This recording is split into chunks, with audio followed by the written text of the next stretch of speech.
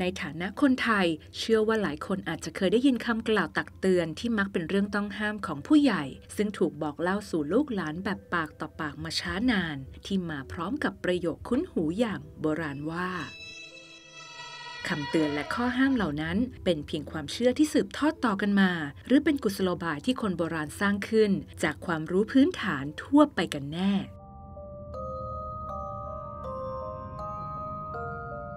ท้จริงแล้วเรื่องราวของหลากหลายข้อห้ามคำโบราณว่านั้น มีที่มาที่ไปอย่างไร 1. ห้ามคนท้องไปงานศพ โบราณว่าวิญญาณคนตายอาจจะมาเกิดแทนลูก หรืออาจจะทำให้วิญญาณเร่ร่อนที่อยู่ในวัดตามกลับมาด้วย เรื่องจริงก็คือสมัยก่อนไม่มีเมนเผาศพ คนไทยมักจะเผาศพกันบนกองฟอนหรือกองฟืน เป็นภาพที่น่ากลัวแก่ผู้พบเห็นโดยเฉพาะคนท้อง และอาจจะไปกระทบกระเทือนจิตใจจนเป็นอันตรายกับลูกในท้องได้ คนโบราณจึงออกอุบายเพื่อให้คนท้อง หลีกเลี่ยงการไปร่วมงานศพนั่นเอง 2. ห้ามขานรับเวลาได้ยินเสียงเรียกตอนกลางคืน โบราณว่าพูดผีจะมาเอาตัวไป เรื่องจริงก็คือกลางคืนเป็นเวลาที่คนนอนหลับ พวกที่ทำอะไรยามวิกาลส่วนมากเป็นพวกโจรหรือคนร้าย คนโบราณจึงออกอุบายห้ามขานรับเสียงเรียกตอนกลางคืน เพราะจะทำให้คนร้ายรู้ตัว และอาจเข้ามาทำร้ายผู้ที่ขานรับเสียงเรียกนั้นได้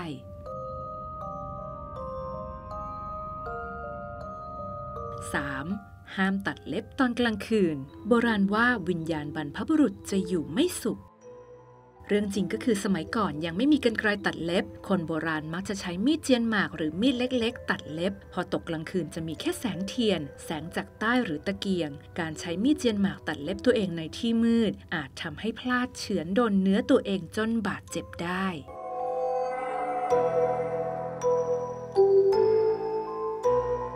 4. ห้ามนอนตอนพลบค่ำโบราณว่าจะทำให้วิญญาณนั้นออกจากร่าง ความจริงก็คือเวลาพลบค่ำเป็นเวลาที่คนในบ้าน ซึ่งออกไปทำงานนอกบ้านจะกลับเข้ามา จึงเป็นเวลาของครอบครัว ถือเป็นเวลาที่ต้องช่วยกันตระเตรียมอาหารเย็น ใครที่นอนในเวลานี้จะถือว่ากินแรงคนอื่น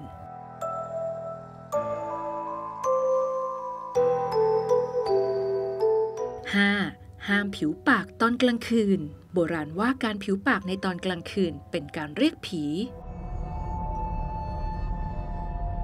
ความจริงก็คือเสียงผิวปากนั้นอาจสร้างความรำคาญแก่ผู้อื่นที่ต้องการพักผ่อนนั่นเอง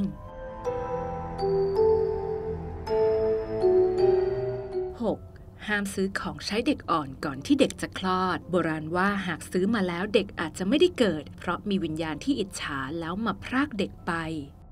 ข้อเท็จจริงก็คือ การซื้อของมานานเกินไปจะทำให้มีฝุ่นละออง เชื้อราหรือเชื้อโรคมาเกาะ ซึ่งไม่ดีต่อสุขภาพของเด็กอ่อน อีกทั้งสมัยก่อนที่เทคโนโลยียังไม่ก้าวหน้าทำให้ไม่สามารถรู้เพศ ไปจนถึงขนาดตัวของทารกในครรภ์ด้วย 7. คนท้องต้องติดเข็มกลัดที่เสื้อทุกครั้งก่อนออกจากบ้านในเวลาเย็น โบราณว่าเป็นการป้องกันสิ่งชั่วร้ายที่จะเข้ามาทำร้าย ความจริงก็คือเข็มกลัดจะช่วยสะท้อนตาผู้พบเห็น และจะสังเกตได้ง่ายทำให้ไม่เดินชนคนท้อง 8. คนท้องห้ามด่าหรือสาปแช่งผู้อื่น โบราณว่าจะทำให้ลูกของตัวเองได้รับผลกรรมนั้นแทน รื่องจริงก็คือ ไม่ต้องการให้คุณแม่มีสุขภาพจิตที่ย่ำแย่เพราะความรู้สึกและอารมณ์ของคนเป็นแม่อาจจะส่งผลไปยังทารกในครรภ์ได้ทำให้เด็กที่เกิดมามีอารมณ์แปรปรวนได้นั่นเอง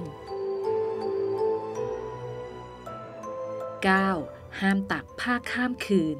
โบราณว่ากระสือจะมาใช้ผ้าเช็ดปาก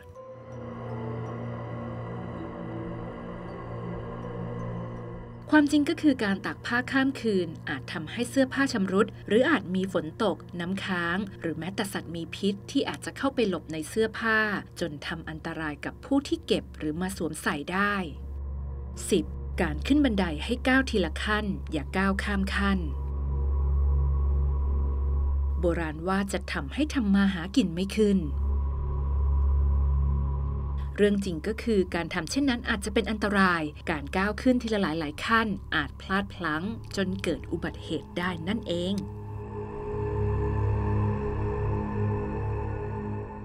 11. 11. ห้ามหันหัวเตียงหรือนอนหันหัวไปทางทิศตะวันตก โบราณว่าทางตะวันตกนั้นเป็นทิศของคนตาย ความจริงก็คือผนังด้านทิศตะวันตกที่รับแสงมาตลอดทั้งบ่าย จะเริ่มคายความร้อน ถ้าหันหัวนอนไปทางด้านนั้นจะปวดหัวไม่สบายตัว อาจส่งผลต่อสุขภาพในระยะยาวได้ 12. อย่าเล่นมีด อย่าถือมีดวิ่งเล่นไปมา เดี๋ยวผีผลักโบราณว่าในของมีคมนั้นอาจมีวิญญาณสิงสถิตอยู่ และพวกมันชอบเอาชีวิตคนไปสังเวย เรื่องจริงก็คือการทำเช่นนั้นอาจทำให้เกิดอุบัติเหตุจนถึงชีวิตได้ หากล้มทับมีดแล้วถูกบาดหรือแทงโดนจุดสำคัญของร่างกาย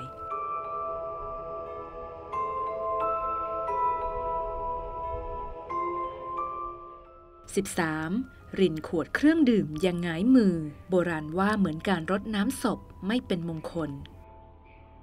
เรื่องจริงก็คือการหงายมือรินเครื่องดื่ม อาจทำให้ควบคุมมือและขวดในมือได้ยาก จนเครื่องดื่มหกเลอะเทอะได้ 14. อย่ากกวาดบ้านตอนกลางคืน โบราณว่าเป็นการกวาดเงินกวาดทองที่สะสมมาตั้งแต่ตอนเช้าออกไปจนหมด เรื่องจริงก็คือถ้ากวาดบ้านเวลากลางคืน เราอาจกวาดของมีค่าชิ้นเล็ก ๆ ตกลงไปใต้ถุนบ้านได้ เพราะบ้านสมัยก่อนยกพื้นสูง และไม้กระดานอาจมีช่องว่าง 15. คนท้องห้ามอาบน้ำตอนดึก โบราณว่าจะทำให้มีน้ำคร่ำเยอะ อันที่จริงแล้วหญิงที่ตั้งครรภ์อาจเป็นอันตรายจากการลื่นล้ม หรือได้รับอันตรายจากสัตว์ร้ายที่มีพิษ เพราะในสมัยก่อนไม่มีไฟฟ้านั่นเอง 16. ต้นไม้ใหญ่ล้มเอง อย่าเอามาทำเสาเรือน โบราณว่าไม้ล้มเองนั้นเหมือนคนตาย หากนำมาเป็นเสาเรือนถือเป็นสิ่งอัปมงคล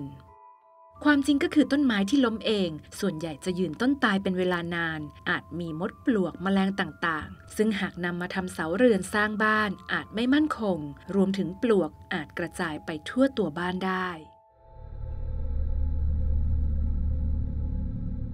17. ห้ามหรือหรือทำลายจอมปลวก โบราณว่า จอมปลวกเป็นที่ที่มีเทวดาอารักษ์หรือวิญญาณสิงสถิตอยู่ จึงห้ามหรือทำลาย เพราะเทวดาอาจจะโกรธ และส่งผลร้ายต่อผู้ที่กระทำความจริงก็คือปลวกเป็นสัตว์ที่สำคัญต่อระบบนิเวศของดิน มันจะกินเศษไม้ชิ้นเล็ก ๆ และใบไม้แห้ง เพื่อย่อยออกมาเป็นมูลดิน จึงสำคัญต่อการเกษตรกรรมในยุคก่อนนั่นเอง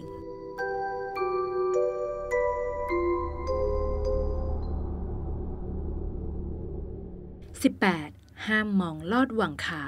โบราณว่าจะทำให้มองเห็นผี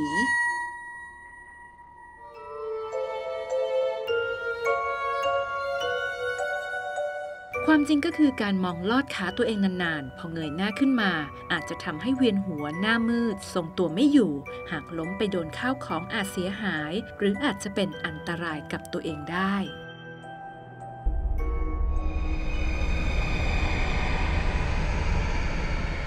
คนท้องห้ามแหงนหน้ามองพระจันทร์ โบราณว่าการทำเช่นนั้นจะทำให้ลูกที่คลอดออกมานั้นตาเหล่ความจริงก็คือหากแหงนหน้าแล้วอาจจะทำให้หน้ามืด และอาจจะล้มจนเป็นอันตรายกับลูกในท้องได้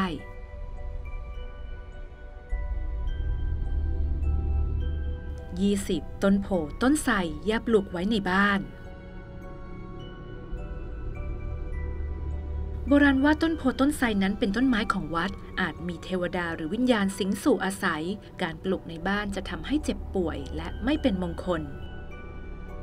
เรื่องจริงก็คือต้นโพและต้นไทรนั้นเป็นไม้ยืนต้นขนาดใหญ่อีกทั้งยังมีรากที่ใหญ่ เยอะและแข็งแรงมากๆ สามารถดันให้หินแตกได้ จึงไม่สมควรนำมาปลูกในบ้านนั่นเอง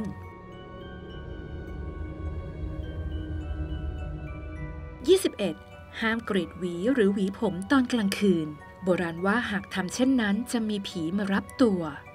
เรื่องจริงก็คือเป็นการห้ามไม่ให้ลูกหลานโดยเฉพาะผู้หญิง เสริมสวยเพื่อหวังจะหนีออกไปเที่ยวในตอนกลางคืนนั่นเอง